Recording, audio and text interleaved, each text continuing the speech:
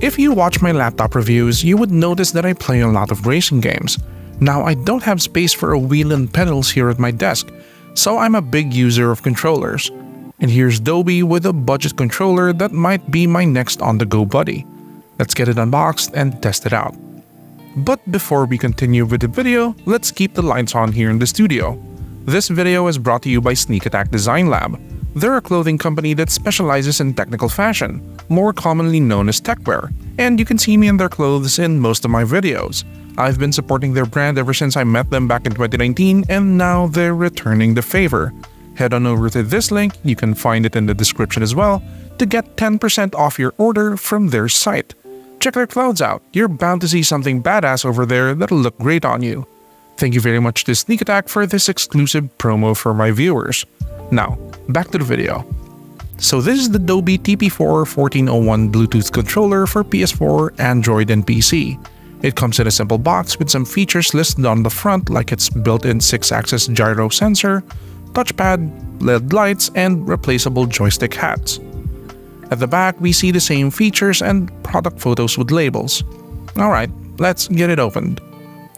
Upon opening up the box, we can immediately see the controller inside a plastic mold to protect it from bumps during shipping. Right below the controller are the different size joystick hats that you can connect. There's a pair of short ones and a pair of tall ones, and the medium ones come pre-installed on the Dobe controller. Do note that these are all concave tops with raised rims, so if you're looking for convex ones, you might want to check somewhere else. Underneath the plastic mold are the manual and the USB-A to USB-C charging and data cable. Alright, let's get to the controller. So the Dobe TP4 1401 is a slightly simpler take on the tried and tested DualShock 4 design. It's roughly the same size, weight, and ergonomics with the PS4 controller, so if you're moving on from that to this, there's basically no adjustment time. The entire controller is made of plastic and it's got a textured underside for grip. I like this texture better. It's got much more deeper grooves than the one on the DS4. Makes it feel better in the hand. Here at the front, we can see the same layout of buttons, joystick, D-pad, and menu buttons. And even here at the lower front part, we see the same external accessory and 3.5mm headphone jack. We do get some pretty gnarly print on the X, circle, square, and triangle buttons though. I like that. At the top, we can see the same layout of LED indicator and shoulder triggers, which feel practically identical to the DualShock 4. But we also see our first deviation from the DS4 design, a USB-C charging and data port. This is a breath of fresh air compared to the considerably aged micro USB-B port on the DS4.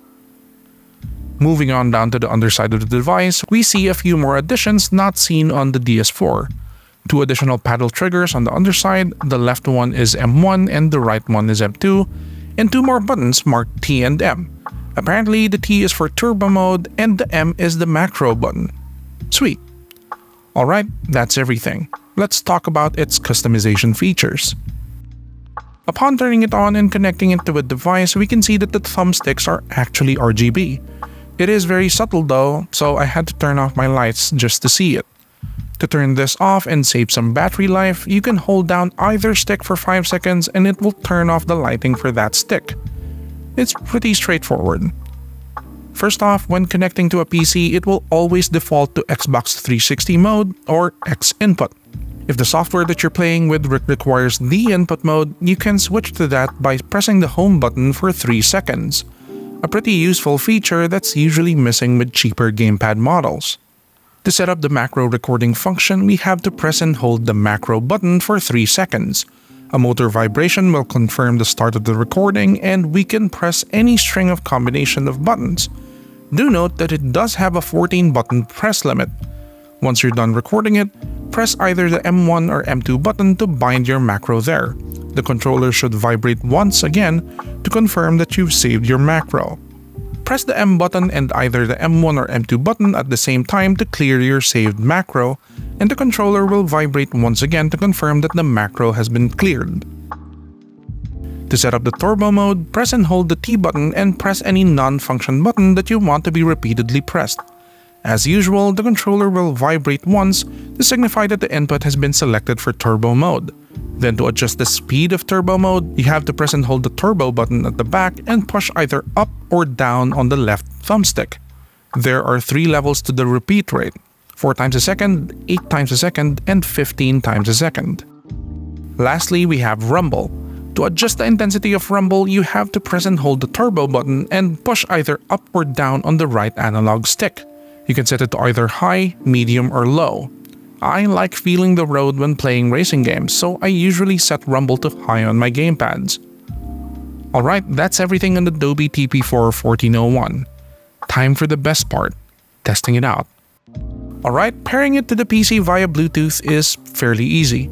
Just like the DS4, you just have to press and hold both the home and share button at the same time to put it into pairing mode, and pair it with your device.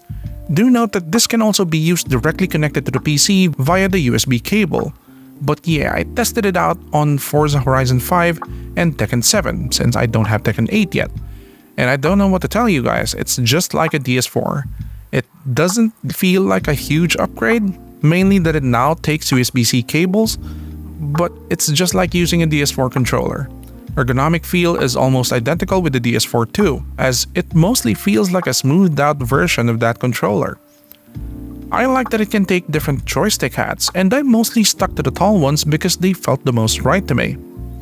I normally don't use macro nor turbo modes on any of my games, so I wasn't able to test out the performance of those features as well.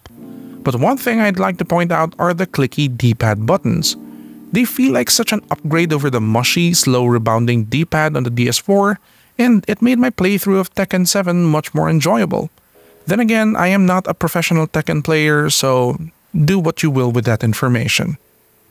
Overall, for less than a thousand pesos, this feels like a good deal. Of course, this isn't a detailed review or anything, but for the time I've spent with it, I'm happy and I would recommend it to anyone looking to have a DS4 experience with their PC. So, that's the Dobe TP4 1401 wireless controller. Do you have any questions about it? Leave them down in the comments and I'll try to answer them the best I can. Also, if you want to buy one for yourself, please check out the description. While you're there, give this video a like and subscribe to the channel for more tech and tech adjacent content. That's it. I'll see you guys next time. Bye.